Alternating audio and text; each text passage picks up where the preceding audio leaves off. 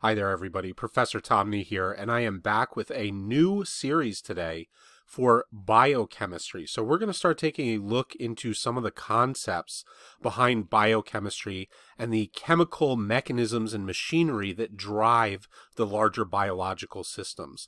So, this is really the first offering in this course that I have uh, that I'm going to be making available here on YouTube. So I don't really want to call it introduction to biochemistry. We're going to focus on the chemistry behind biomolecules, which is kind of an intro, and then we will take it from there and start connecting some of those pieces. So get ready for the very first Chem Complete biochemistry video coming up right now.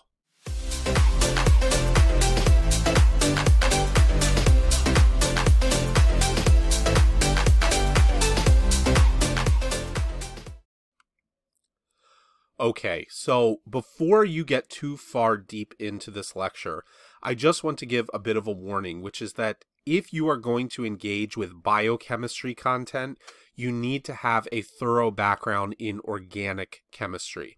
So if you have only taken general chemistry uh, or inorganic and you haven't really been exposed to organic, you need to make sure that that's under your belt first. Now, you by no means need to know all of organic chemistry but a good portion of it because organic chemistry is going to be involved in all of the biological machinery that we take a look at in this lecture. Organic chemistry is kind of a prelude to all of this. So you definitely want to be comfortable with functional groups, resonance, um, aromaticity, things like that.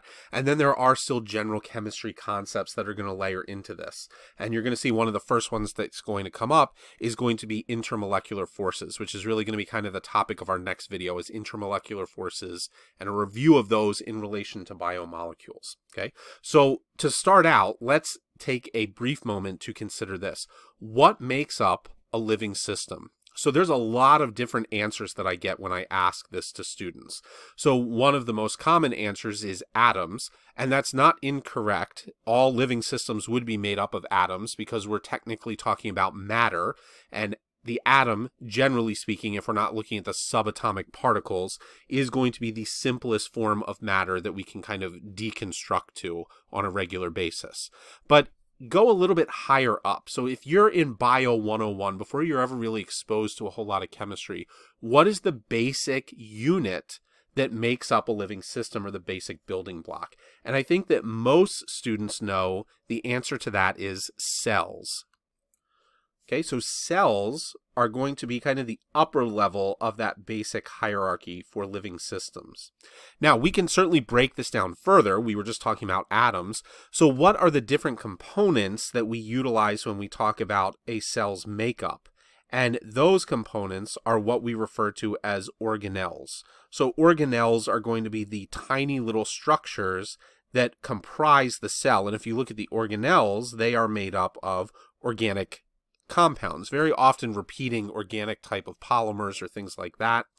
Okay, and so examples of the organelles would be things like a mitochondria, a Golgi body, an endoplasmic reticulum. So if you're dusty on some of your biology, you may need to kind of work on that as well as far as the discussion is concerned, right? But if we break those organelles down and we continue our flow chart here, organelles can really be broken down into what we refer to as macro molecules.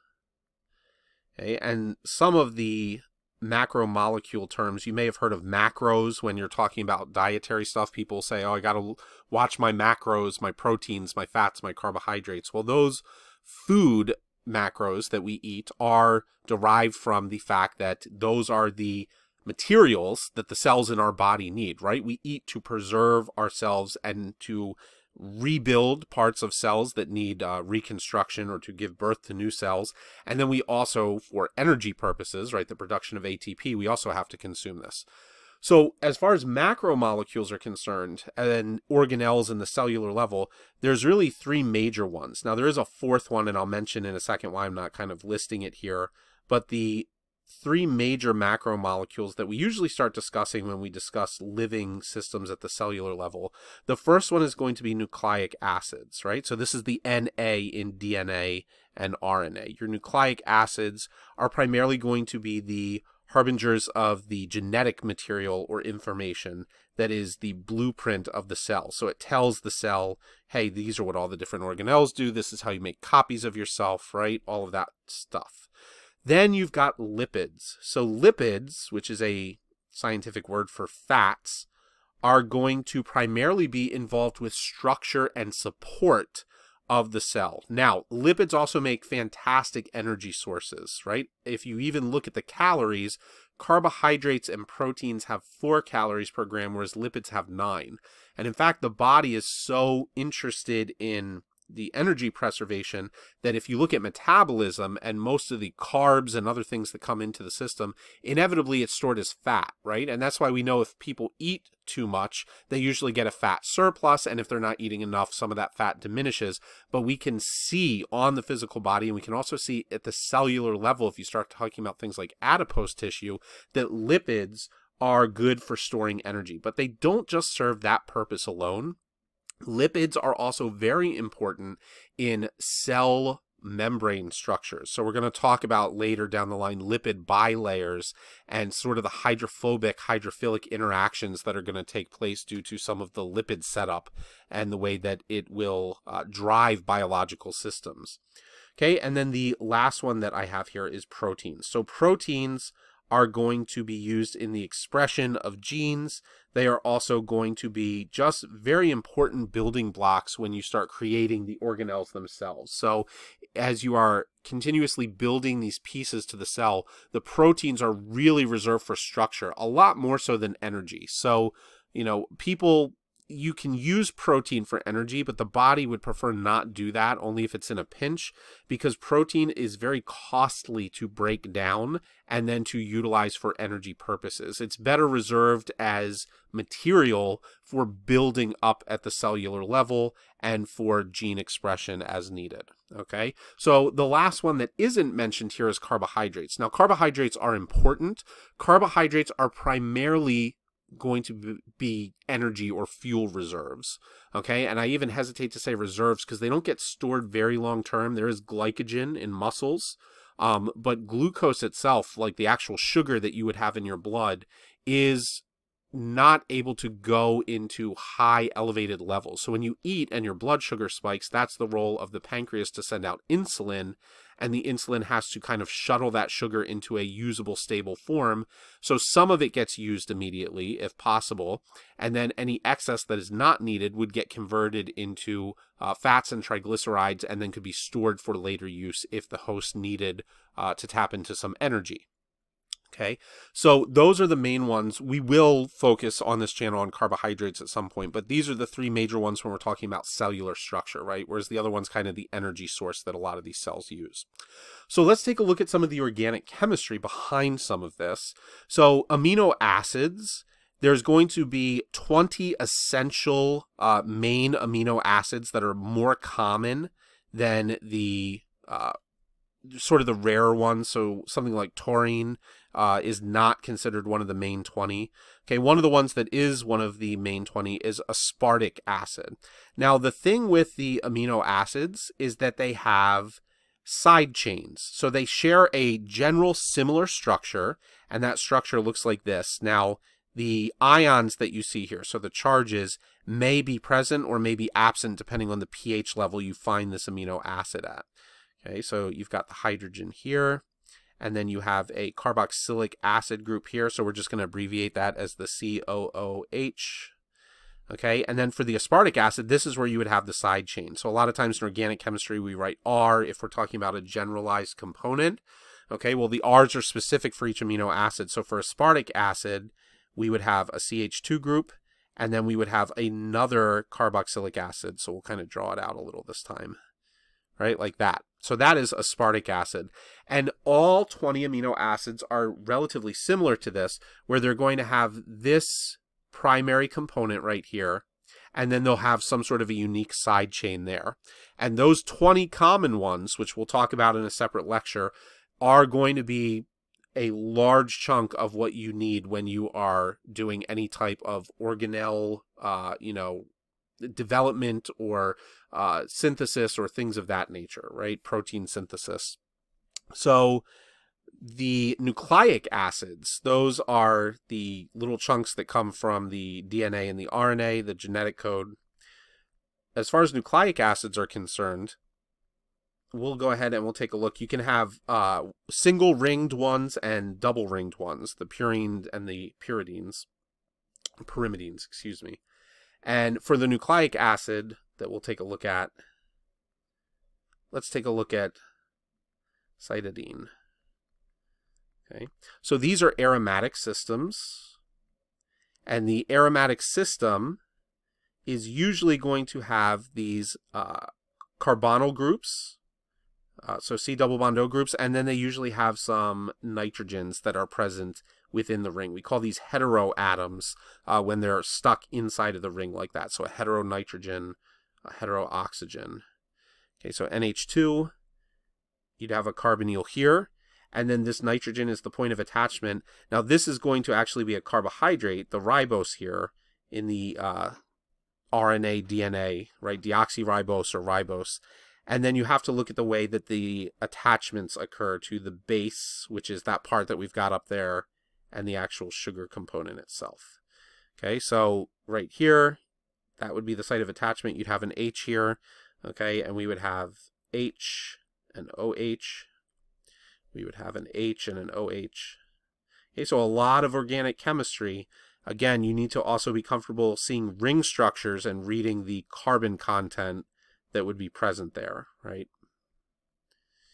Okay, and then that would be H. So you can also see uh, the capability here. A lot of these compounds have, right, polar uh, chunks to them that could get involved in hydrogen bonding or other intermolecular forces. And that's exactly how some of these things are going to stick together, right? So you think about the DNA, the double helix, and these little pieces that come and they stick together. It is the hydrogen bonding and these interactions between those polar functional groups that make that possible. Okay, and so then for lipids, okay, lipids are a large class of compounds and you generally have very long hydrocarbon chains. Lipids are relatively non-polar. They may have certain small sections that are more polar than others, but overall they are non-polar and the length of the chain will depend on how non-polar they are or how non-polar they are will depend on the length of the chain is probably the better way to put that. Okay, so a common one that's uh, well known is stearic acid.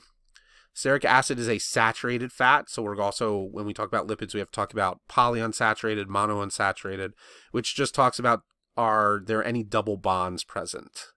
Okay, so stearic acid is saturated, there are no double bonds present. You've got CH3, and then you would have a total of 16 methylene groups, CH2 groups, and then you would have your C double bond O OH, Okay, so a lot of these end in carboxylic acids here. And those carboxylic acids, again, depending on the pH conditions, could be deprotonated uh, based on how basic or acidic those conditions may be. Okay, so if we take a look at all of these compounds that we have up here, and we say, what do they have in common? I think that the obvious answer should be evident by now.